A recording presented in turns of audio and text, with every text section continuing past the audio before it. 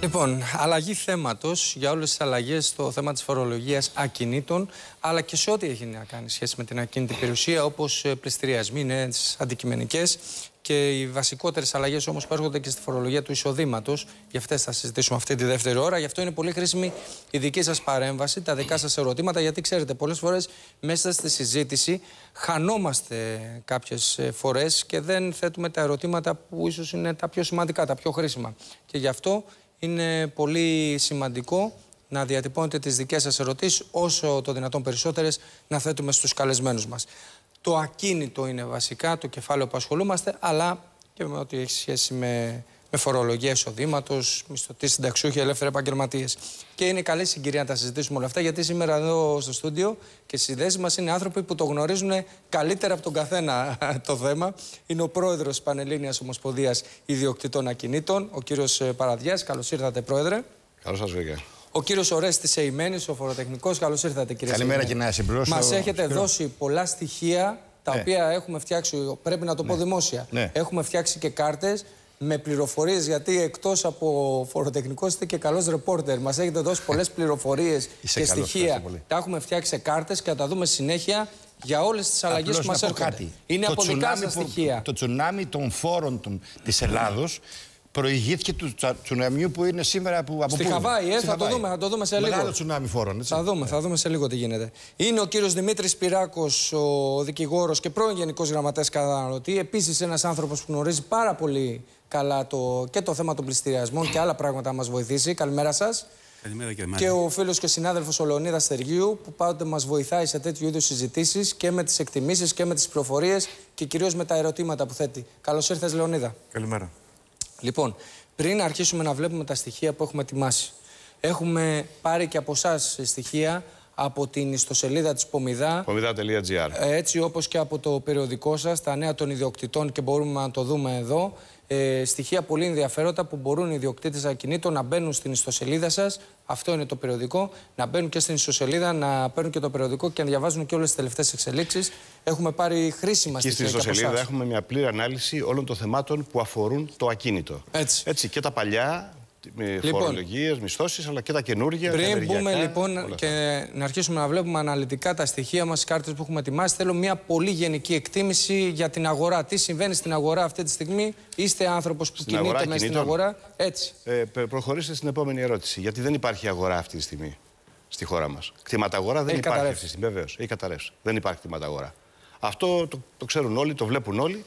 Οι, οι πάντες, εκτός από αυτούς που γράφουν, να εκτός από αυτούς που γράφουν ε, στα, στα μνημόνια κτλ. ότι δίθεν θα γίνει αύξηση των αντικειμενικών αξιών των ακινήτων. Αν είναι δυνατόν. Θα το πιάσουμε, θα το πιάσουμε. Στη στιγμή κατά την αυτή τη στιγμή είμαστε θύματα μιας μεθοδευμένης κατεδάφισης της αξίας της ακίνητης αξία σε αυτή τη χώρα, μέσα στο πλαίσιο της προσπάθειας για εσωτερική υποτίμηση. Εδώ δεν μιλάμε για υποτίμηση, μιλάμε για κατεδάφιση. Να μιλάμε για αγορά κινήτων, να μιλάμε για αύξηση των αντικειμενικών αξιών, να μιλάμε για συντελεστή εμπορικότητας αυτή τη στιγμή στη χώρα αυτή ο συντελεστής εμπορικότητας στα καταστήματα, στα γραφεία πρέπει να καταργηθεί εντελώς. Όχι να μειωθεί, να καταργηθεί εντελώς ο συντελεστής εμπορικότητας. Βεβαίως. Δεν πωλείται, δεν πωλείται τίποτα, δεν αγοράζεται τίποτα, δεν ενοικιάζεται τίποτα. Κοιτάξτε, οι άνθρωποι βάζουν αγγελίες για πώληση. Δεν χτυπάει τηλέφωνο ούτε για λάθος. Βάζουν αγγελίες για μίσθωση. Κανείς δεν ενδιαφέρεται αυτή τη στιγμή. Η κατάσταση της οικονομίας είναι τέτοια, κάποια στιγμή θα αλλάξει. Αλλά μέχρι να αλλάξει πώς θα αντέξει ο κόσμο. Θα τα δούμε αναλυτικά στη συνέχεια. Έτσι, Παρόλα αυτά βάζουν φόρους. Δηλαδή, ενώ, ενώ έχει καταρρεύσει εντελώς η οικοδομή, το ακίνητο όλο, οι περιουσίες όλες, βάζουν φόρους, φόρους, φόρους και ο ιδιοκτήτης των ακινήτων τη στιγμή αυτή γίνεται ένας νικάρι που πληρώνει τριπλό νίκιο. Έτσι έχετε, έχετε δίκιο. Κύριε Σπυράκο. Ε, πράγματι ε, έτσι είναι και νομίζω ότι και το θέμα των δανείων επιβαρύνει ακόμη περισσότερο την κατάσταση οι ιδιοκτήτες πολλών κατοικιών έχουν υπέρμετρες υποχρεώσεις. Σε πολλές περιπτώσεις, μάλιστα, οι υποχρεώσεις που έχουν υπερβαίνει την αξία του σπιτιού τους. Με αποτέλεσμα πλέον να αποπροσανατολίζονται, να αμφιβάλλουν αν έχει νόημα να εξυπηρετήσουν τις οφειλέ τους. Και γι' αυτό νομίζω ότι στο πλαίσιο της αντιμετώπισης του προβλήματος πρέπει να βρούμε και μία μακροπρόθεσμη λύση. Δηλαδή, αυτό το οποίο γίνεται αυτή την ώρα να, με διάφορες ρυθμίσεις να αναστέλουμε. Αυτές αυτές τις ρυθμίσεις θα δούμε, κύριε Σπυράκο, μόλις πάρω και το πρώτο σχόλιο από τον Λεωνίδα του Στεργίου. Γιατί, Λεωνίδα, για ακόμη μια φορά βλέπουμε ότι σε, στα μεσοπρόθεσμα μνημόνια, δεν ξέρω πώς λέγονται, την ύφη την πληρώνουν για ακόμη μια φορά μισθωτοί, συνταξιούχοι, μέσα από τους φόρους δηλαδή και ιδιοκτήτες ακινήτων. Ναι, γιατί έχουν... Στρέφεται η κυβέρνηση στα σίγουρα λεφτά. Αυτή είναι ήταν η συνταγή που ακολουθήθηκε από την πρώτη στιγμή. Από τη στιγμή που δεν είχε την ε, πολιτική τιμότητα να, ε, πώς το λένε, και απόφαση να πάρει με, πιο σκληρά μέτρα, να κάνει πιο ριζικές δηλαδή αλλαγές και μεταρρυθμίσεις και να χτυπήσει άλλες δαπάνες, αναγκαστικά πάει και στρέφεται στα σίγουρα λεφτά, όπως είπες. Ούτε τη φοροδιαφυγή είδαμε και εκεί δεν είδαμε αποτελέσματα. Λοιπόν, για να αρχίσουμε με τους πληστηριασμούς, μιας και το έθεσε ο κύριος Σπυράκος, για να δούμε μετά αναλυτικά τι αλλάζει στη φορολογία των ακινήτων. Στους πληστηριασμούς, λοιπόν, παγώνουν μέχρι το Δεκέμβριο του 2013 οι πληστηριασμοί ακινήτων με αντικειμενική αξία έως τις 200.000 ευρώ προστασία πρώτης κατοικίας ανεξάρτητα από το ύψος του χρέους. Υπάρχουν λάθη σε αυτή την κάρτα, κύριε Σπυράκο; Όχι, να, να διευκρινίσουμε ότι μέχρι 200.000 ευρώ είναι οι πληστηριασμοί οι οποίοι γίνονται από τις τράπεζες. Η αναστολή αυτή ισχύει αυτομάτως, δηλαδή ο φιλέτης δεν χρειάζεται να κάνει κάτι. Στη δεύτερη περίπτωση. Ε, μισό λεπτό, μισό λεπτό. όταν λέτε δεν χρειάζεται να κάνει κάτι, χρωστάει κάποιος στην τράπεζα ε, το σπίτι του ένα σπίτι με αντικειμενική αξία 160.000 και δεν μπορεί να τα πληρώσει. Τι εννοείται δε, δε, χωρίς να κάνει κάτι, δεν πρέπει να πάει σε ένα δικαστήριο να κινήσει κάποιε διαδικασίες. Ακριβώς αυτό εννοώ. Δεν χρειάζεται να πάει. Ισχύουν εκ του νόμου. Σε περίπτωση που γινόταν ένας τέτοιος πληστηριασμός, θα ήταν άκυρος ε, και δεν θα επέφερε το αποτέλεσμά του. Ε, αντίθετα, στη δεύτερη περίπτωση, στην προστασία της κατοικίας, εκεί θα πρέπει να μπει σε κάποια διαδικασία να ζητήσει την uh, αναστολή του πληστηριασμού γιατί είναι η πρώτη του κατοικία, ότι ναι. εμπίπτει σε κάποιες προϋποθέσεις. Η πρώτη κατοικία προστατεύεται στο πλαίσιο του νόμου για άρα, τα Άρα κύριε Σπυράκο δεν προστατεύεται ανεξάρτητα από το ύψος του χρέους; όχι, ε, ε, εκεί προστατεύεται ανεξάρτητα από το ύψος του χρέους η κύρια κατοικία, η πρώτη κατοικία.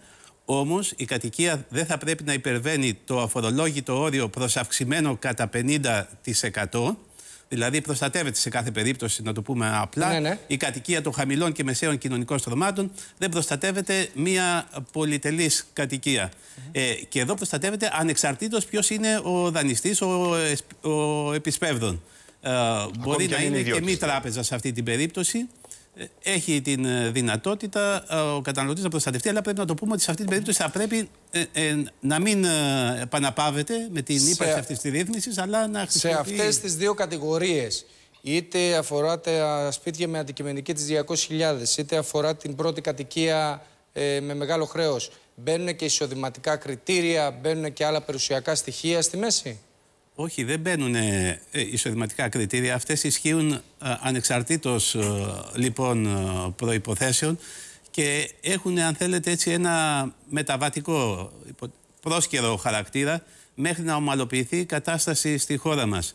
Ε, υπάρχει ένα πρόβλημα, το γνωρίζουμε όλοι, ε, με τα δάνεια. Δεν μπορούμε να ανταποκριθούν, πολλοί καταναλωτές δεν μπορούν να ανταποκριθούν στις υποχρεώσεις τους. Βρισκόμαστε σε μια φάση αναπροσαρμογής. Τα εισοδήματα συρρυκνώνονται άμεσα ή έμεσα.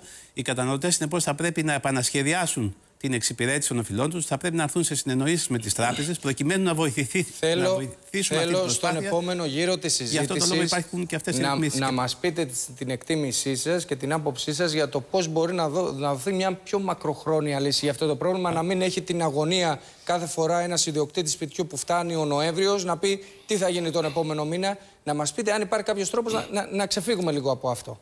Ε, κύριε Σεϊμένη, δεν, δεν γίνονται κατασχέσεις μόνο από τράπεζες. Θέλω να πω ότι είναι τριών ειδών πληστηριασμοί. Για χρέη προς το δημόσιο, για χρέη προς τράπεζες και για χρέη προς ΣΥΚΑ. Και επειδή. Προσίκα. Προσίκα, βεβαίως. Ναι. Και μάλιστα τα χρέη, οι πληστηριασμοί για χρέη προς ΣΥΚΑ έχουν αναβληθεί μέχρι 31 Δεκεμβρίου. Μπορεί να κάνεις έτσι μέχρι 31 Δεκεμβρίου του 2012 για να δώσεις μια παράταση, μια ρύθμιση να κάνεις μέχρι 31 Δεκεμβρίου του 2013. Αυτό είναι ένα θέμα με το ΙΚΑ. Μπορούμε έτσι να κωδικοποιήσουμε αυτές τις περιπτώσεις πληστηριασμών από το δημόσιο και να πούμε, όπως για παράδειγμα με τις τράπεζες, λέω ότι προστατεύεται η αντικειμενική αξία μας 200.000 ευρώ. Σε περίπτωση που χρωστά στο δημόσιο στο υπάρχει δημόσιο έχει προστασία. Ένα, ένα ποσό 3.000 ε, Τι 3.000. Μέχρι 3.000 μπορεί να κάνει κατασχέσεις από καταθέσεις. Δηλαδή, αν χρωστάω στο δημόσιο 4.000 ευρώ, μπορεί η εφορία να μου στείλει κατασχετήριο; Βέβαια, μισθούς μπορεί να σου, να σου, να σου, να σου κατασχέσει ισχυρά αστείο τον ενίκεια καταθέσεις σε τράπεζες και να σου καταθέσεις και, και τους μισθούς. Δηλαδή να, να, να στα πάρει. Να έτσι. παίρνει τα- και τις καταθέσεις μισθούς. στις τράπεζες. Αυτά λοιπόν όλα στο δημόσιο υπάρχει μια μεγάλη. Δεν έχει, εκεί δεν έχει Προστασία. ε, προστασία. Το δημόσιο μπορεί να σου πάρει όλα. Και μάλιστα έχει ποινικά να σε διώξει, όχι μόνο να σου κατασχέσει το, να, και να κάνει πληστηριασμό. Έτσι. Εκεί δεν έχει καθόλου. Προηγείται. Αλλά όπως είπε ο κ. Παραδίας προηγουμένως, έχει καταρρεύσει η οικοδομή. Α τα πάρει τα, να τα, τα ανοίγει τα, όλα τα ακίνητα να δούμε τι θα κάνει. Τι θα κάνει. Κύριε Εγώ θα σας μιλήσω τώρα για τη, τη νέα μεγάλη, το νέο μεγάλο κύμα των πληστηριασμών που θα ξεκινήσει αμέσως από την επόμενη χρονιά. Η επιβολή του Super FAP, δηλαδή του φόρου ακίνητης περιουσίας, ο οποίος θα έχει ένα δημοσιονομικό αποτέλεσμα 3 δις κάθε χρόνο, ένα άπιαστο πραγματικά δημοσιονομικό αποτέλεσμα. Είναι αυτό, θα το δούμε και σε λιγάκι. Είναι Αυτός. ο, ο, ο, Ο νέος- ενιαίος ο νέος φόρος. φόρος. Ο ενιαίος φόρος, Αυτός ακριβώς. στον οποίο θα ενταχθούν όλα. Όλοι. Εκεί. Ε, όταν λοιπόν ξεκινήσει αυτός ο φόρος, εκεί θα είναι μέσα οι πάντες μπλεγμένοι. Εκεί εμείς λέμε ότι πρέπει να είναι όσο πιο πλατεία γίνεται η φορολογική βάση και όσο πιο χαμηλή γίνονται οι φορολογικοί συντελεστές. Και εκεί επίσης λέμε ότι ο καθένας πρέπει να πληρώσει αυτός ο ίδιος το φόρο που αντιστοιχεί στη δική του περιουσία και όχι να ψάχνει αυτός η πολιτική εξουσία να φορτώσει το φόρο ενός πολίτη σε κάποιον άλλο. Αμέσως βλέπουμε τους φόρους. Ε, Λεωνίδα, από την άλλη, συμφέρει τις τράπεζες να βγουν αυτή τη στιγμή να, να αρχίζουν να βγάζουν ε, σπίτια στο σφυρί; Δηλαδή, θέλω να πω ότι ήρθαν και εκείνες σε ένα συμβασμό για να μην χάσουν αξία μέσα από αυτή τη διαδικασία. Ναι, γιατί πέρα από το νομικό πλαίσιο που υπάρχει, οι νόμοι, οι ισχύοντες οι νόμοι, υπάρχουν και, υπάρχει και η αγορά. Και το παράδειγμα της Ισπανίας που προηγήθηκε της Ελλάδος στην αγορά κινήτων έδωσε πάρα πολλά μαθήματα και για τις δηλαδή, ελληνικές τι, τι τράπεζες. είναι αυτό το παράδειγμα; Δηλαδή, οι, οι τραπέζε αυτή τη στιγμή, όπως ξέρουμε, δεν προχωράνε σε πληστηριασμούς. Ε, Αλλιώς θα, θα έπρεπε να είχαν πέσει στην αγορά γύρω στα 40 με 70.000 ακίνητα. Τα, τα οποία δεν, είναι- δεν- αυτή τη στιγμή ναι, μεν είναι στο κόκκινο, αλλά δεν προχωράνε. Κάνουν ρυθμίσεις, κάνουν συμβιβασμούς ή έχουν παγώσει. Υπάρχει μια κάποια αναστολή.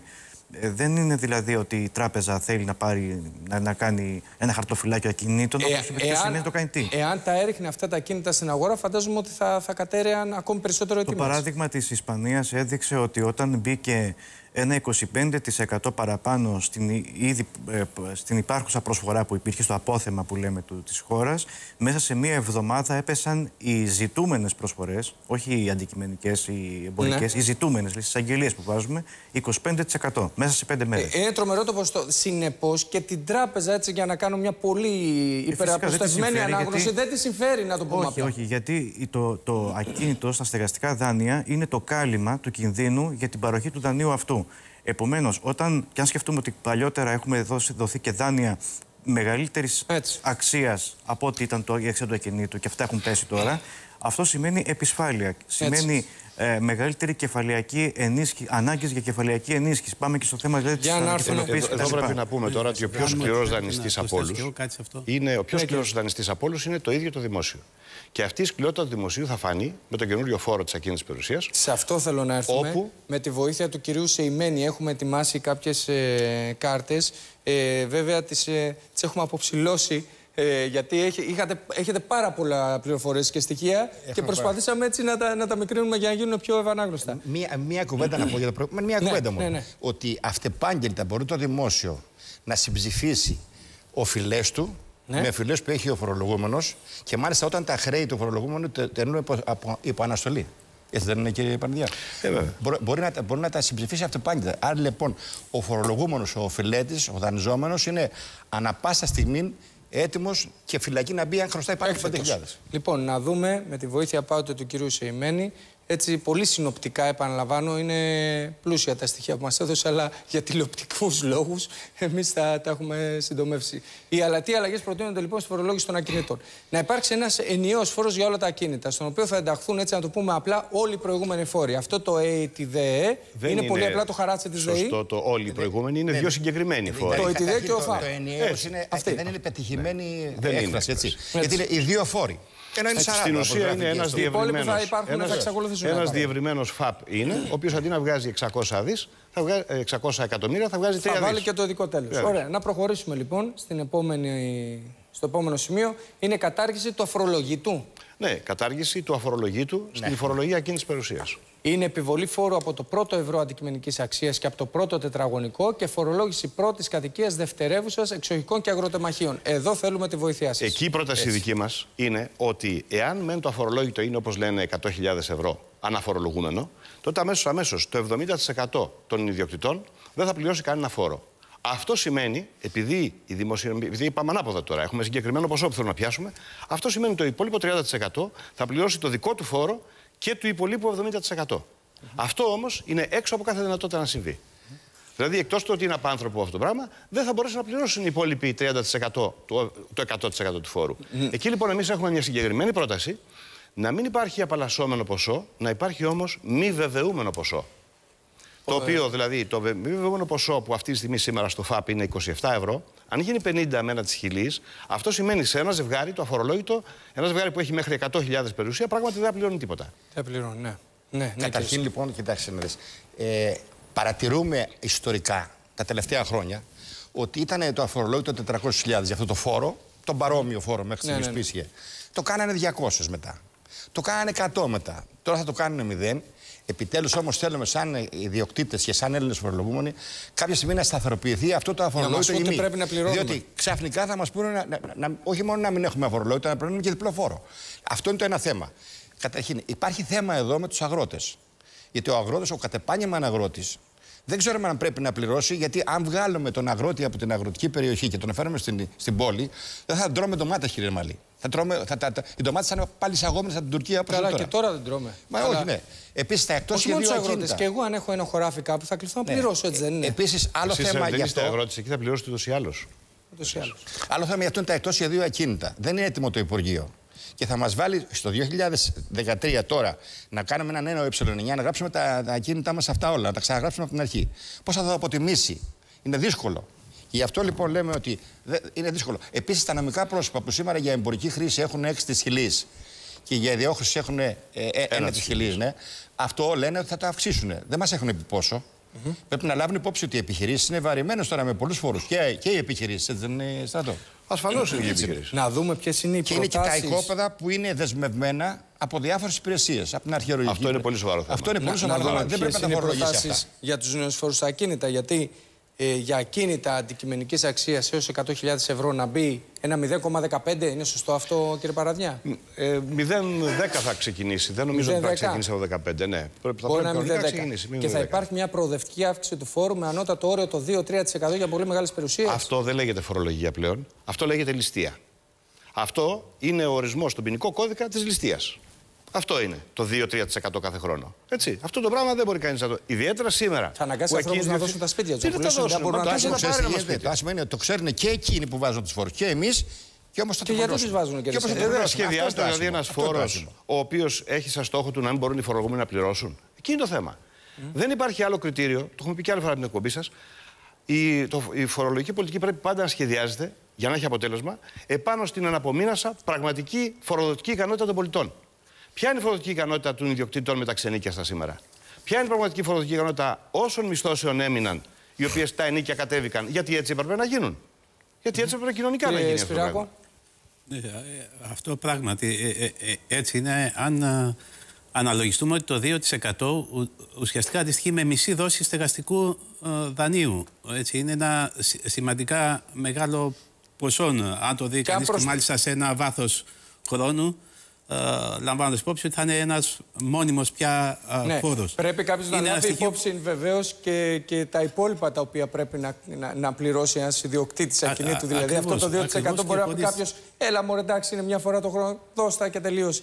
Αλλά ένας άνθρωπος που καλείται να πληρώνει έκτακτη φορά, να πληρώνει φορά και τις περιοχέ, να πληρώνει όλα αυτά, μαζεύονται μετά. Δεν ο βγαίνει ο οποίος λογαριασμός, κύριε πιθανότατα, Σπυράκο. Επειδή η ιδιοκατοίκηση στηρίζεται σε ένα πολύ μεγάλο βαθμό στο δανεισμό που επιχειρήθηκε τα τελευταία. που υπήρξε στην πιστοτική ναι. επέκταση που υπήρξε την τελευταία 15 ετία, ε, θα οφείλουν ε, παράλληλα και μία ε, δόση για την αποπληρωμή αυτής της οφειλής. Πολλοί δηλαδή θα πληρώνουν ως κύριοι το ποσοστό αυτό, ενώ στην πραγματικότητα ε, το ακίνητο δεν έχει γίνει ακόμη Σωστά, δεν, δικό είναι, τους. δεν, δεν είναι δικό τους. Ναι, έτσι είναι. Το Ε, ενίκη που εισπράττει όμως ένας ιδιοκτήτης από όταν τον νοικιάζει σε τρίτον, ε, δεν φτάνει να πληρώσει αυλό του φόρους. Ναι, Πρέπει δεν ένα φτάνει. ενίκιο Δεν φτάνει. 100 ευρώ και πληρώνει 500. Σωστά, Ποιο Λεωνίδα. ενίκιο, όσοι εισπράττουν ενίκεια. Όσοι Εδώ εισπράττουν, ναι. τώρα αυτό, αυτό έχει αποψηλωθεί εντελώς αυτό το κομμάτι, ας πούμε. Με αποτέλεσμα και οι ιδιώτε να μην εισπράττουν απολύτως τίποτα και το κράτος να μην εισπράττει από τα ξενίκια στα. Λε, ακίνητα. Λεωνίδα, α- αυτά όλα δεν μπαίνουν στο σχεδιασμό που γίνεται ας πούμε, έτσι, από το οικονομικό επιτελείο, από την Τρόικα, να, να, να βάλουν κάτω τα πράγματα, να δουν ε, β- βγάζουμε εμείς στο χαρτί αυτούς τους φόρους. Μπορούμε να τους εισπράξουμε γιατί ε, πλέον Πρέπει ο να κόσμος πούμε- έχει φτάσει στα ωριά του, ας πούμε. Ναι, σαφώς εντάξει. Έχει φτάσει στα όρια, αυτό το ξέρουμε. Δεν είναι το θέμα. Αλλά ε, από τη συζήτηση, άμα μου επιτρέπετε, Ναι, είναι ναι, έτσι βεβαίως. τα πράγματα, είναι δύσκολα τα πράγματα, αλλά μου, μου έχουν δημιουργηθεί κάποιες απορίες. Για τα χαμηλά εισοδήματα, ναι, είναι βαριά η φορολογία. το 2 ή 3% μιλάμε για ακίνητες περιουσίες που θα είναι πάνω από 500.000 ή πάνω από ένα εκατομμύριο ευρώ. Δηλαδή, η φοροδοτική ικανότητα ενός ανθρώπου που έχει ένα ακίνητο ενός εκατομμυρίου ευρώ δεν μπορεί να πληρώσει αυτό το 2%. Δηλαδή να το κατεβάσουμε. Μετά επίσης είδα ότι είναι πολύ, πολύ βάρβαρο ν- αν χρωστάς στο δημόσιο να σου κάνει ε, αυτόματα την, τον, τον, ε, τον συμψηφισμό. Δηλαδή να μην μας παίρνει τα, ό- ό,τι χρωστάμε. Μπορούμε να χρωστάμε ό,τι θέλουμε. Έτσι. Επίσης να μην γίνονται πληστηριασμοί. Αυτό είδα από τη συζήτηση. Να μην φορολογείται επίσης η ακίνητη περιουσία.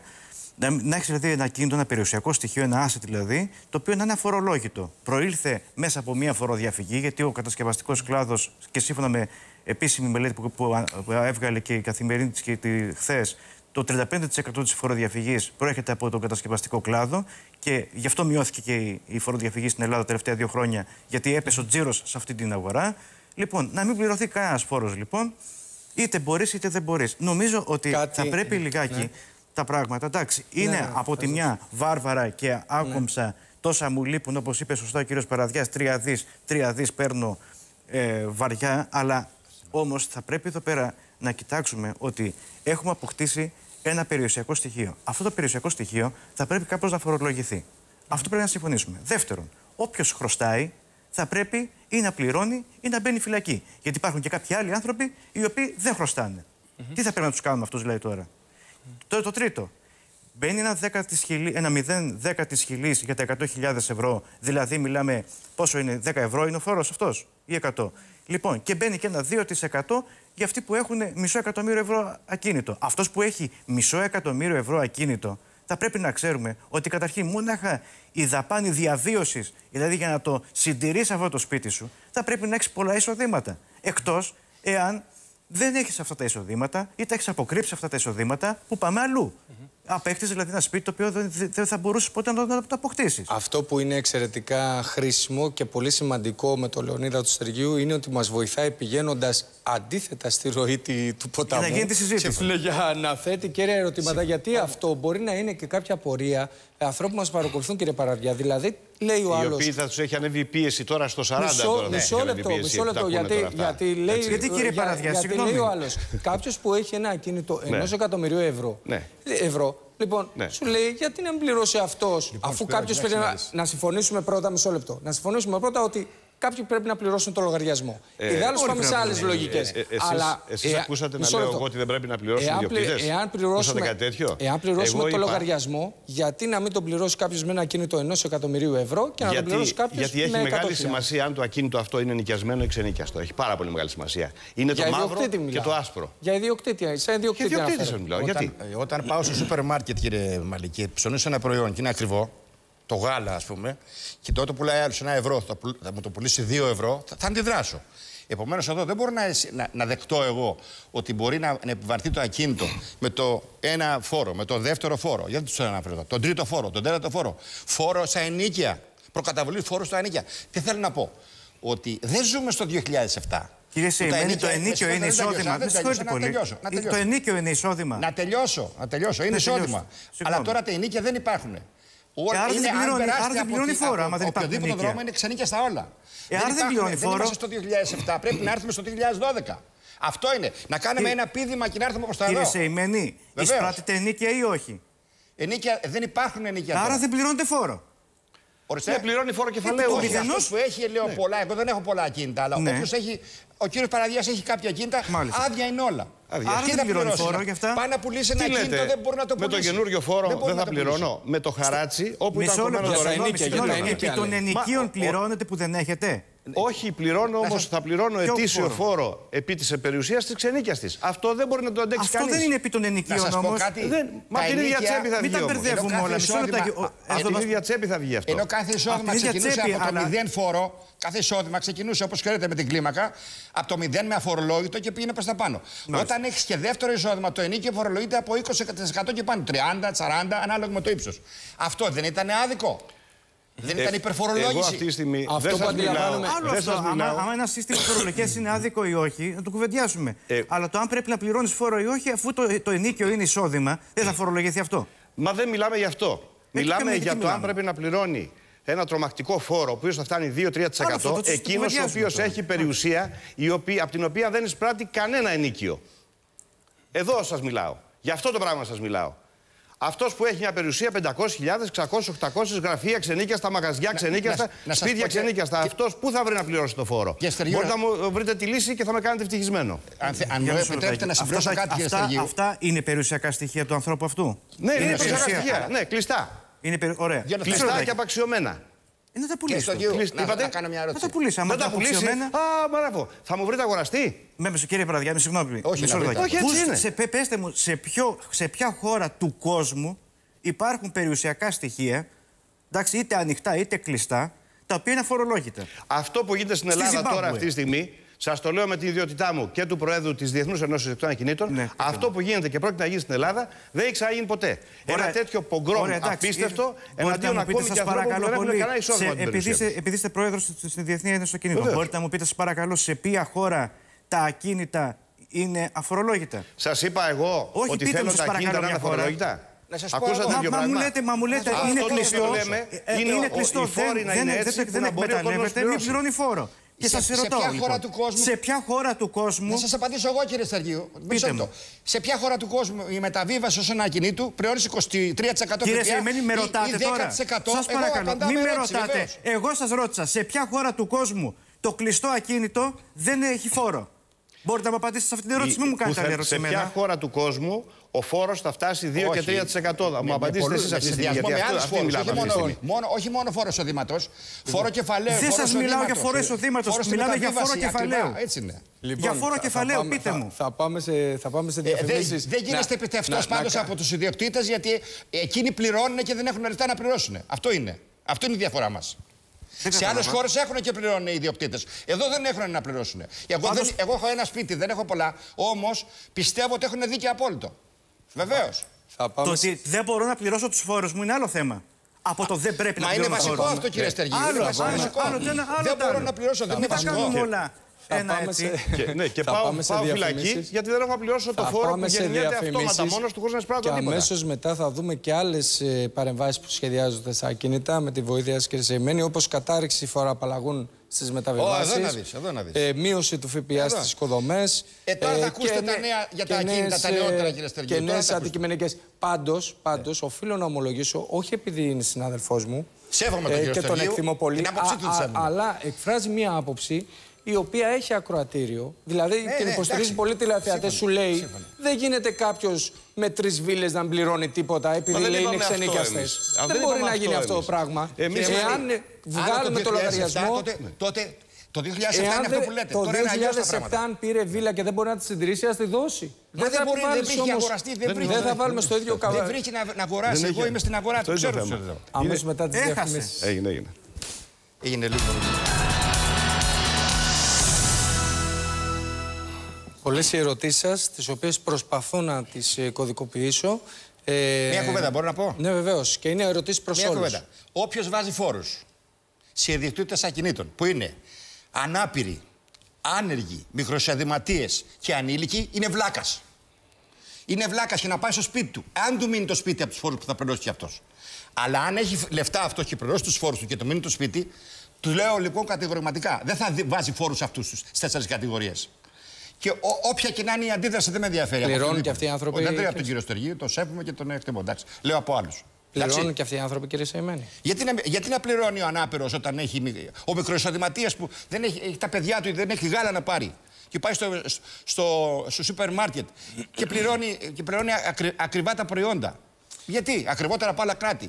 Πάντως, Αυτό δεν είναι τρόπος να συμπεριφερθεί το κράτος. Πάντως φαντάζομαι ότι ο Λεωνίδας, χωρίς να μιλάω εξ ονόματος του, Ναι. ε, δεν αναφέρεται σε περιπτώσεις ενός ασθενούς, ενός αναπήρου, ενός ανέργου. Όχι, το διευκρινίζω με αυτό. Αναφέρεται Το σε διευκρινίζω. ανθρώπους οι οποίοι έβγαλαν χρήμα, πολλές φορές μαύρο χρήμα, το ξέπλυναν με ένα ακίνητο και τώρα όχι μόνο έβγαλαν μαύρο χρήμα, όχι μόνο το ξέπλυναν με ένα μεγάλο ακίνητο, αλλά βγαίνουν και διαμαρτύρονται και λένε μην μας φορολογήσετε. Μόνο για αυτές τις περιπτώσεις μιλάω. Αυτό είναι άλλο θέμα. Μόνο Ε, για μα- αυτές τις περιπτώσεις. Να μην Θα κρίνουμε ήταν τις προπη- λίστες. Λοιπόν, ερωτήσεις πολλές.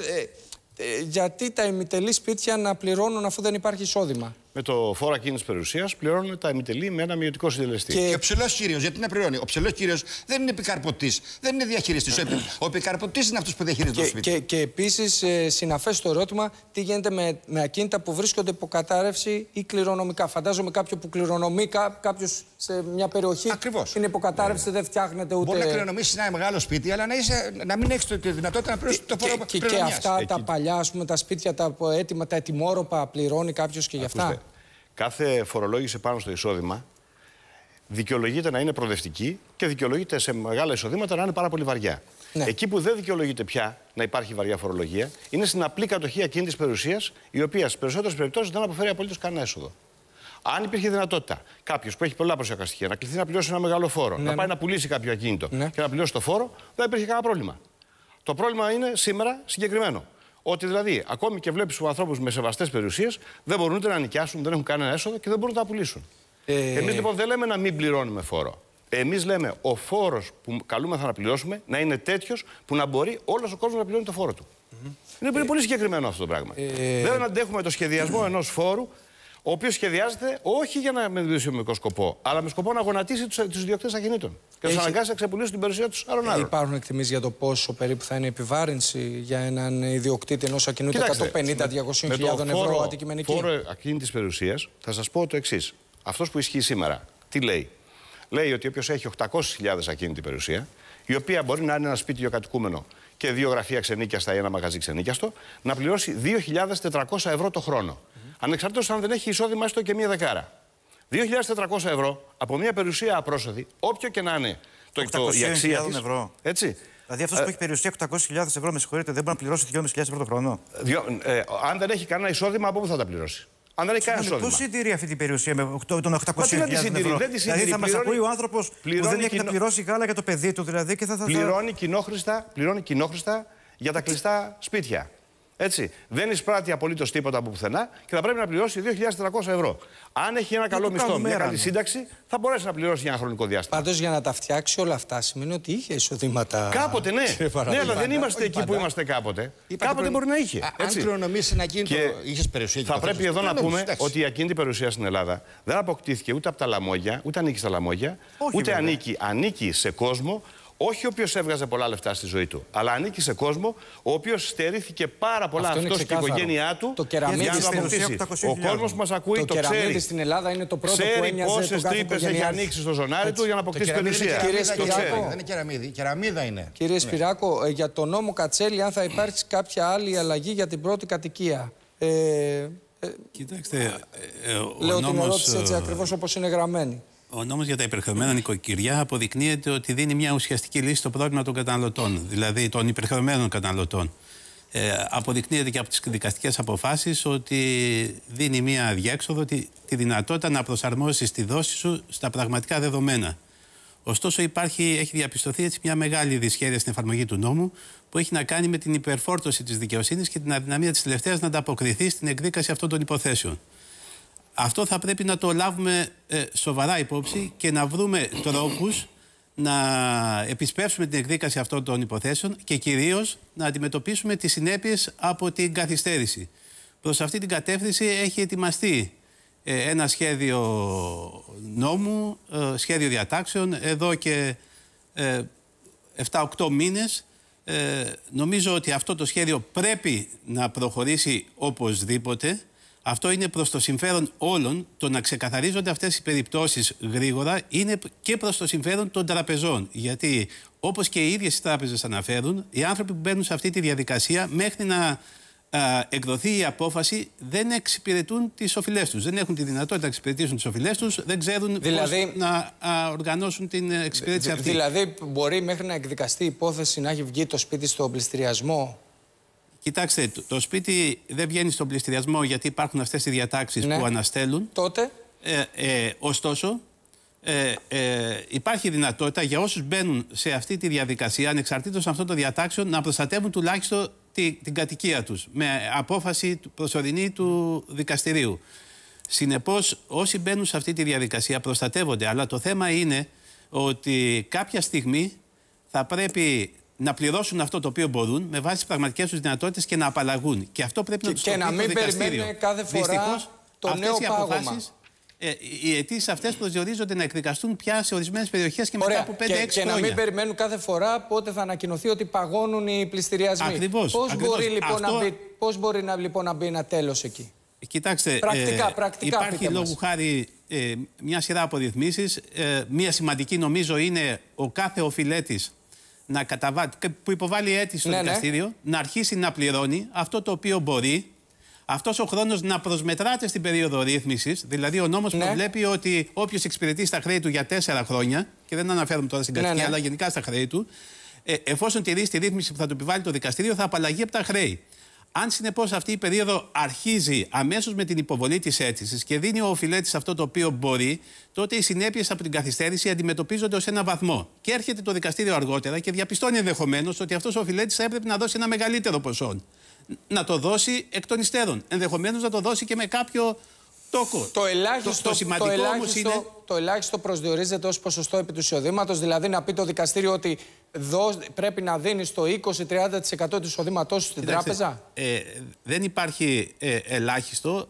Ε, το δικαστήριο αυτό το οποίο κάνει, κοιτάζει τι χρειάζεται ο οφειλέτης για να καλύψει τις βιωτικές του ανάγκες και το υπόλοιπο είναι αυτό το οποίο Μάλιστα, τον μάλιστα. υποχρεώνει να το Κατάλαβα. δίνει στο δικαστήριο. Μπορεί κάποιος οφειλέτης να μην μπορεί να δίνει τίποτε ή να δίνει ελάχιστα. Και αυτός μπορεί να υπαχθεί σε λοιπόν, αυτή τη είναι διαδικασία ένα και θέμα- έχουμε και τέτοιες αποφάσεις. Σπύρο, ένα θέμα παρόμοιο. Ε, αυτό το οποίο παρόμοιο. είναι πολύ σημαντικό, αν μου επιτρέπετε Ναι, ναι, ναι. πάντως, είναι επειδή ακριβώς υπάρχει ένα αυξημένο ενδιαφέρον για αυτές τις διαδικασίες, να βρούμε και τρόπους να βελτιώσουμε όσο γίνεται την εξώδικη ε, ρύθμιση αυτών των περιπτώσεων. Να Να, μην- δημιουργήσουμε κάποια κίνητρα για τις τράπεζες ώστε Έτσι. να συμμετέχουν Ε, ε, και να είναι έχουν- πιο έχουν ουσιαστικές που έχουν οι σε αυτή τη άνθρωποι- διαδικασία. Έχουν, που έχουν οι άνθρωποι την αγωνία τους, μην τραβιόνται τώρα με, με δικαστήρια και όλες αυτές τις Να ε, δώσουμε και μια συμβουλή επώδυνες διαδικασίες. στους, στους δανειολήπτες. Ναι. Υπάρχει μια ε, δυνατότητα της τράπεζας τώρα να, μπαίνει, να παίρνει τα χρηματοοικονομικά ε, π- προϊόντα, ας πούμε, έτσι, την Ναι. περιουσία και το εισόδημα του, του δανειζόμενου από, το- από την εφορία. Εγώ το, το θέτω αυτό το θέμα, διότι είναι κάτι Ναι. το οποίο μπαίνει στη ζωή μας γι' αυτό, τελευταία μπήκε, γιατί εάν ο, η τράπεζα έχει αυτή τη δυνατότητα, ε, δη- δημιουργείται μια πρόσθετη εργασία στις εφορίες. Ναι. Δηλαδή, πα- πάμε στην εφορία να την κάνουμε άλλο πράγμα. Και δεύτερον, Ναι. εάν δεν θέλει ο διανηλήπτη, μπορεί να, μην, να, να αποσύρει την αίτησή του για ρύθμιση και, και να μην πάρει τα στοιχεία που θέλει. Και ερω- βέβαια, όχι την, την ερωτήματα δήλωση. Έτσι, όχι την πολλά δήλωση. με τις Ε, αν αντικειμενικές, αλλά θα ήθελα πρώτα να δούμε τις, ε, την κάρτα με τις σχεδιαζόμενες παρεμβάσεις στα ακίνητα, που εκεί μέσα θα δούμε και τις νέες αντικειμενικές, πάντοτε με τη βοήθεια ε, εδώ του κυρίου ε, Σεϊμένη. Ε, τι σχεδιάζει λοιπόν η, η κυβέρνηση να αλλάξει; Κατάρριξη φοροαπαλλαγών στις ορίστε, μεταβιβάσεις ακινήτων. Είναι, λι- έχουμε επιλέξει λίγα πράγματα. Είναι περισσότερα αυτά που, που έχετε Ξεχάσανε οι εσείς. κυβερνώντε τα τελευταία Και χρόνια να τον τα άνθρωπο διαβάσω μισό λεπτό και μόνο, θυμούνται κύριε μόνο τους Σεμίδη. αριθμούς. Κατάρριξη φοροαπαλλαγών στις κληρονομιές, στις γονικές παροχές, δωρεές κτλ. Μείωση ΦΠΑ στις νεόδμητε οικοδομές. Επέκταση του αντικειμενικού προσδιορισμού της αξίας των ακινήτων. Μείωση των τεκμηρίων διαβίωσης των ακινήτων. Τι γίνεται με τις αντικειμενικές, ρωτάει πολλοί κόσμος, κύριε Πρόεδρε. Με τις αντικειμενικές αξίες, εάν θα ε, μπούμε σε διαδικασία Τι, αλλά να τις θα ανοίξουμε, μπούμε; θα πρέπει να πάμε σε πολύ σημαντικές μειώσεις. Και σε τιμές ζώνης, σε πάρα πολλές περιοχές σε όλη τη χώρα. Κυρίως όμως σε κατάργηση πλέον του συντελεστή εμπορικότητας, γιατί η εμπορικότητα έχει πεθάνει στα περισσότερα σημεία τα πρώην εμπορικά.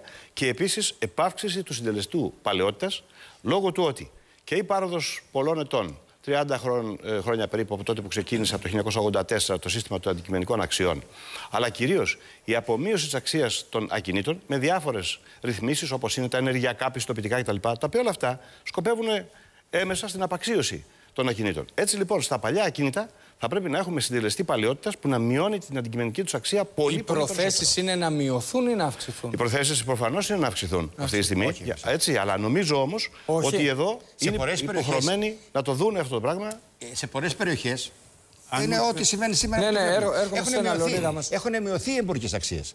Και θα πρέπει λοιπόν όταν λένε θα αυξηθούν οι αντικειμενικές αξίες να μας λένε θα μειωθούν κιόλας εκεί που πρέπει. Ναι, λένε θα αναπροσαρμοστούν στις Θα εμπορικές. αναπροσαρμοστούν εκεί στις εμπορικές. Οι εμπορικές είναι χαμηλότερες Ποιες τώρα, είναι πιο εμπορικές; πολλές. καταρχήν; Όταν δεν υπάρχει εμπόριο, όταν δεν υπάρχει χρηματαγορά, ποιες είναι εμπορικές; Σπύρο, να μην ξεχάσουν Ποιες είναι το, εμπορικές; τον άνθρωπο και να θυμούνται τους αριθμούς, όπως είπα προηγουμένως. Αυτό είναι μεγάλη υπόθεση. Αυτό είναι σε μεγάλη μείνει. Ναι, υπόθεση. Λεωνίδα.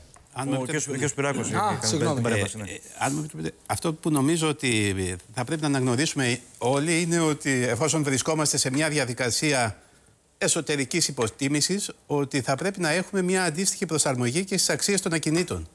Δηλαδή και τα ακίνητα θα πρέπει να έρθουν σε ένα τέτοιο επίπεδο ώστε ένας ε, πολίτης που πια έχει μικρότερο εισόδημα, δεν έχει το εισόδημα που είχε στο παρελθόν, Ναι, ναι. να μπορεί στη ζωή του να αποκτήσει ένα ακίνητο. Σωστά. Αυτό είναι λοιπόν σε μια αντίθετη κατεύθυνση το να διωγγώνουμε συνεχώς την αξία των κινήτων προκειμένου να εισπραχθούν περισσότεροι φόροι. Δημιουργεί μια μεγάλη ε, αδικία στην αγορά και τελικά εμποδίζει την πρόσβαση τη μελλοντική σε αυτά τα αγαθά. Μπορεί, μπορεί να μην Α. είναι συναφές το ερώτημα τώρα που θα κάνουμε τη συζήτηση, στο γιατί προηγούμενο δεν προσπαθώ τελειώσαμε. να πω για τις απαντήσω εμπορικές παροχές. σε όσο Οι το δυνατόν εμπορικές περισσότερα. παροχές Έχουν 150.000 αφορολόγητο τώρα.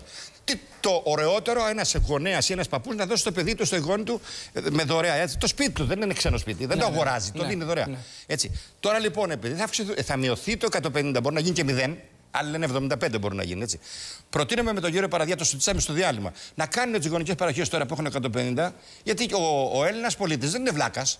Και αυτό κοιτάζει την τσέπη του, αφού αδειάζει την τσέπη του συνεχώς. Ο- οπότε τι να κάνουν; Να κάνουν γονικές παροχές τώρα που έχουν 150.000 αφορολόγητο. Συμφωνείς, Πρόεδρε; Εδώ, εκ των πραγμάτων εδώ. των πραγμάτων. Όσοι ενδιαφέρονται είτε να αγοράσουν πρώτη κατοικία, είτε να κάνουν στα παιδιά τους γονική παροχή, στην πραγματικότητα οφείλουν να σπεύσουν.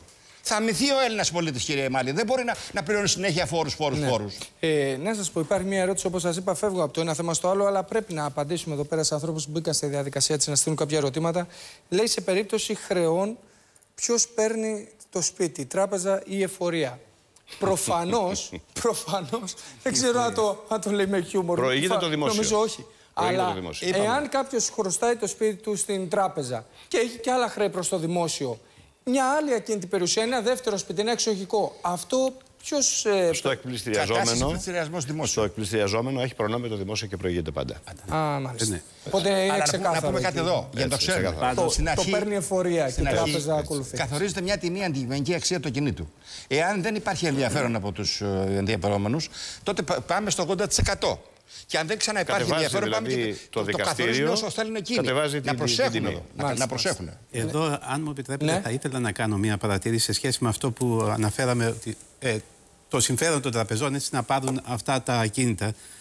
Και νομίζω το είπε προηγουμένως ο κύριος ε, Στεργίου ότι αυτή την ώρα ε, νομίζω ότι είναι και προς το συμφέρον των τραπεζών και εν τέλει οι τράπεζες και οι οφειλέτες έχουν ένα συμφέρον να αποφύγουν τέτοιες καταστάσεις. Να τα Μπορούσα βρουν. να πω ότι έχουν ένα τέτοιο συμφέρον που φτάνει σε βαθμό συμμαχίας.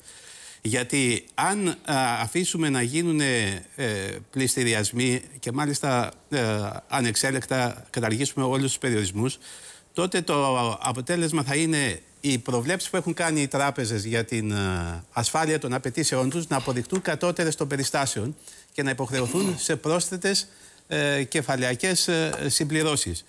Αυτό όμως μπορεί να, δι- να ε, επιτείνει ακόμη περαιτέρω, να κάνει την κατάσταση πιο άσχημη. Δηλαδή, αν α, αφήσουμε να γίνουν πολλοί πληστηριασμοί, ακόμη και όταν δεν φέρνουν αποτέλεσμα, ε, οδηγούμαστε σε μια απαξίωση των σπιτιών. Όταν δεν εμφανίζεται κάποιος με μια μειωμένη τιμή για να αγοράσει το ακίνητο, σημαίνει ότι πέφτουν ακόμη περισσότερο οι αξίες. Αυτό έχει λοιπόν σαν αποτέλεσμα να μην, ε, οι τράπεζες να μπαίνουν σε πολύ σοβαρούς ε, κινδύνους. Ναι. Και θα πρέπει ως εκ τούτου αυτές οι καταστάσεις να προλαβαίνονται. Ναι. Λεωνίδα; Νομίζω ότι ε, Ναι. η διαφορά, αν θέλετε, ανάμεσα στους οφειλέτες αυτή την ώρα και στις τράπεζες είναι στο ότι η, η, η, η, η, η- η συμμαχία είναι δυστυχώς ε, ε, βραχυπρόθεσμη. Ναι, ναι, ναι. δηλαδή ε, οδηγούνται σε ρυθμίσεις οι οποίες ε, μεταθέτουν το πρόβλημα για την υπε- επόμενη τον μέρα, επόμενο δεν το χρόνο, αντιμετωπίζουν, ενώ θα πρέπει να Θα το- βρούμε πια πιο μακροχρόνιες Ε, λύσεις. Είναι βέβαιο ότι θα το ξαναβρούμε μπροστά μας τον Να- επόμενο χρόνο, μόλις τελειώσει αυτή η ρύθμιση. Ναι, Λεωνίδα. Εγώ αυτό που θέλω να πω είναι ότι θα πρέπει να συμφωνήσουμε όλοι ότι θα πρέπει να υπάρξει ένα φορολογικό σύστημα το οποίο να, με το οποίο να πρέπει να πληρώνουμε φόρο εισοδήματος, φόρο κεφαλαίου εκεί όπου που πρέπει να πληρώνουμε. Ταυτόχρονα όμως αυτό το φορολογικό σύστημα να είναι δίκαιο, δηλαδή να είναι ελαφρύτερο στα χαμηλά εισοδηματικά κλιμάκια και σε αυτούς που έχουν μικρή περιουσία και να αυξάνεται προοδευτικά προς τα υψηλότερα ε, επίπεδα. Το τρίτο είναι ότι θα πρέπει να μάθουμε όλοι να δεχόμαστε τις συνέπειες, δηλαδή όταν για οποιοδήποτε λόγο δεν πληρώνω ή δεν μπορώ να πληρώσω ή έχω χρέη και οφειλές, να υπάρχει βέβαια το νομικό πλαίσιο της προστασίας, της ρύθμισης, αλλά όμως να υπάρχει και της ε, καταστολής ή της πρόσληψης για αυτό το θέμα. Διότι άμα τα αφήσουμε όλα χαλαρά και στο όνομα της κρίσης και της ύφεσης σταματάμε να πληρώνουμε, να, να γίνονται κατασχέσεις κτλ. Θα γι, πολύ φοβάμαι ότι θα γίνουμε μία ε, ζούγκλα.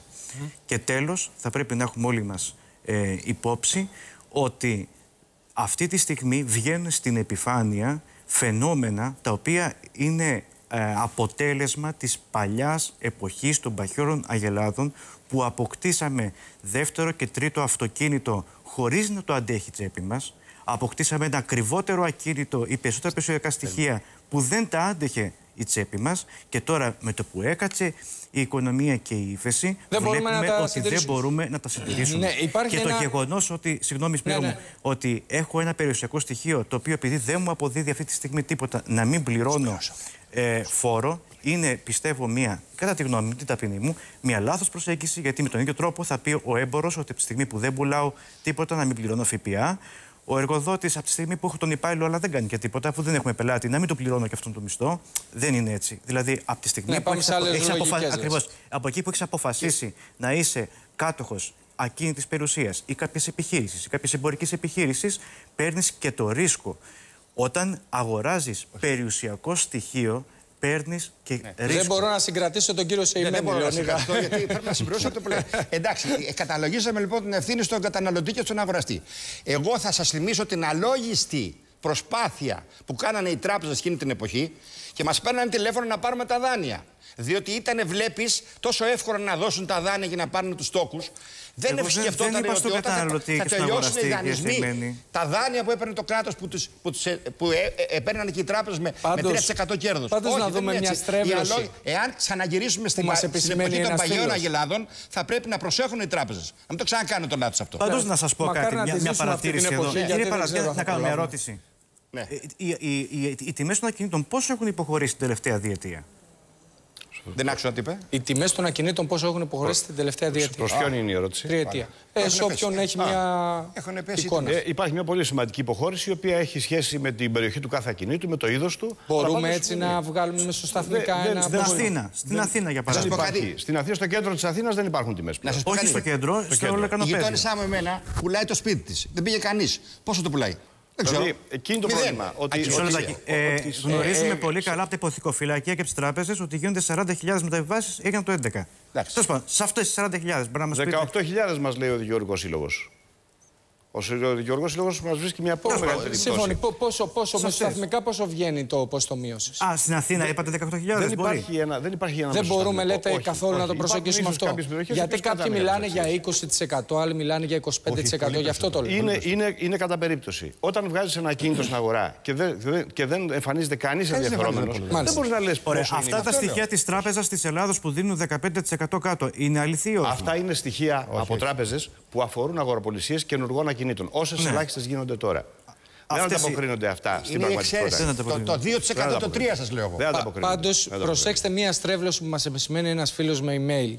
Ε, λέει γιατί τα εισοδήματα από ακίνητα να μην φορολογούνται όπως σήμερα προστιθέμενα στα άλλα εισοδήματα ενός πολίτη και αντιθέτως πρόκειται να καθιερωθεί ένας φόρος 20% από το πρώτο ευρώ. Έτσι λέει Κάποιος που έχει μοναδικό εισόδημα από ενίκιο 4.500 ευρώ θα πληρώσει 900 ευρώ και κάποιος άλλος με εισόδημα από άλλη πηγή τα ίδια χρήματα θα πληρώσει το 1 ευρώ. Ναι, δεν ξέρουμε αν θα γίνει αυτό με το 20%. Και αν, θα γίνει, είναι έτσι. αν θα γίνει, δεν μπορεί να γίνει εις βάρος των μικροϊδιοκτητών.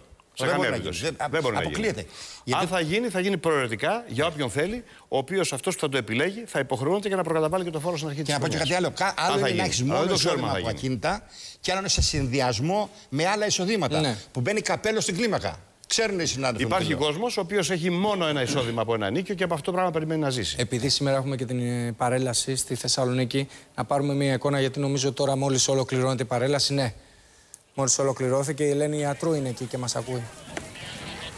Η παρέλαση, όπως βλέπετε, ολοκληρώθηκε. Ο πρόεδρος της Δημοκρατίας ε, πηγαίνει για να κάνει τις ε, δηλώσεις, ε, όπως και οι εκπρόσωποι πολιτικής και στρατιωτικής ηγεσίας. Να σας πούμε ότι στο βάθος του δρόμου, με όλα τα αυτά, παραμένουν τιμηρίε στο ΜΑΤ που εμποδίζουν ομάδα διαδηλωτών που προέρχονται από το χώρο του ΣΥΡΙΖΑ να παρελάσουν αμέσως μετά την παρέλαση. Όπως από χθες είπαν στις κάμερες εκπρόσωποι του ΣΥΡΙΖΑ. Αυτό που θέλουν είναι όχι να διακόψουν την παρέλαση, αλλά να συνεχίσουν με δική τους παρέλαση. περιμένουμε να δούμε τη δήλωση του Πρόεδρου Δεν είχαμε παρατράγουδα, δεν είχαμε έκτροπα.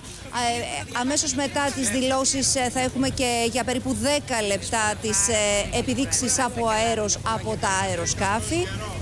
Και στη συνέχεια φαντάζομαι ότι θα ανοίξει ο δρόμος αφού το αποχωρήσουν όλοι οι επίσημοι με ασφάλεια για να παρελάσουν και οι διαδηλωτές όπως το επιθυμούν. Να σας πούμε ότι εμείς τώρα μπορεί να μην βλέπουμε παρέλαση, όμως σε απόσταση σχεδόν 300 μέτρα από το σημείο που βρισκόμαστε, οι πολίτες τώρα έχουν αρχίσει να βλέπουν μέρος της παρελάσεως. Καταλαβαίνετε ότι υπάρχει αυτή η σχετική καθυστέρηση. Μάλιστα. Περιμένουμε τις δηλώσεις του Πρόεδρου. Ναι, θα μείνουμε λίγο ακόμα στη Θεσσαλονίκη. συνομιλεί με ανθρώπους που αγωνίστηκαν το 1940.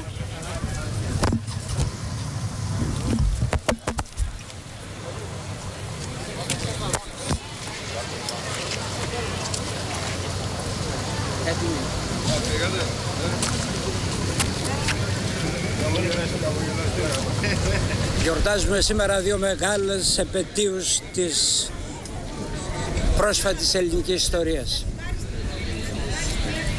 τα 100 χρόνια από την απελευθέρωση της Θεσσαλονίκης όταν ο ελληνικός στρατός εξόρμησε για να πραγματώσει τα όνειρα του ελληνισμού. Η κατάληψη της Θεσσαλονίκης ήταν μια ανατροπή στα τότε δεδομένα και καθιέρωσε πολιτικο-στρατιωτικά την Ελλάδα στον περίγυρό της. Έτσι η Ελλάδα με τις νίκες του στρατού και την απόλυτη στήριξη του λαού πέτυχε τα όνειρα που προσδοκούσε ο ελληνισμός. Και φτάνουμε στον άλλον μεγάλο σταθμό που γράφτηκε στα βουνά της Αλβανίας. Και που είχε ιδιαίτερη σημασία όπως ομολογούν όλοι. Η καθυστέρηση των χιτλερικών στρατευμάτων στο μέτωπο της Ελλάδος είχε σαν συνέπεια την ανατροπή των σχεδίων του Χίτλερ γιατί δεν μπόρεσε το χειμώνα του 1941 να καταλάβει τη Μόσχα και κατέρευσαν τα σχέδια του Χίτλερ. Αυτό το ομολόγησαν όλοι τότε. Σήμερα πολλοί θέλουν να το ξεχνούν και θέλουν να το ξεχνούν γιατί δεν θέλουν να αναγνωρίσουν τι οφείλει η Ευρώπη σε αυτή τη μικρή Ελλάδα. Εμείς όμως προχωράμε μπροστά. Ο ελληνικός λαός χυμάζεται σήμερα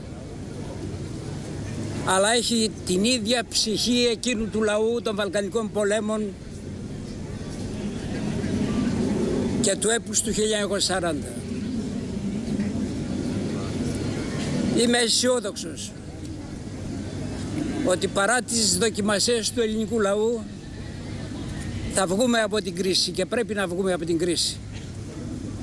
Γιατί και σε εκείνη την ιστορική εποχή υπήρχε υπήρξε η μεγάλη ήττα του 97 και όμως ο ελληνικός λαός, η Ελλάδα έδωσε το παρόν και αποκατάστασε, αποκατέστησε τη δύναμή της και την πολιτικο-στρατιωτική της σημασία σε όλον τον κόσμο, εκείνο τον κόσμο. Και σήμερα πιστεύω το ίδιο θα συμβεί. Πρέπει όμως να βγούμε γρήγορα, γιατί δεν μπορεί... Λοιπόν, το μήνυμα του Πρόεδρου της Δημοκρατίας. Δεν έχουμε άλλο χρόνο. Να σου κάνει μια πρόταση. Εκτός χρόνου. Μια πρόταση. να, να βάλουν τους ομογενείς Μην το να κάνετε. φέρουν χρήματα από το, από το εξωτερικό, να αγοράσουν ακίνητα, να ανακάμψει η αγορά. Δεν έχω, δεν έχω άλλο χρόνο. Σας ευχαριστώ όλους πολύ. Ευχαριστώ πολύ, Λεωνίδα, κύριε Σπυράκο. Ευχαριστώ πάρα πολύ, Για την κύριε ανοιχτή Παραδιά. επιστολή. Ευχαριστώ, κύριε Ζεϊμένη. Έχω όλες τις προτάσεις σας να ξανακάνουμε. Κάνουμε ωραίες συζητήσεις Πρέπει να και πούμε θέλω να ότι, τις ξανακάνουμε. ότι με τους ομογενείς κινδυνεύει η σχέση μας. 11 Αυτό εκατομμύρια ήθελα να ομογενείς πούμε. στον Πρέπει να κόσμο. πάμε σε διαφημίσεις. Και, και πρέπει να το προσέξουμε.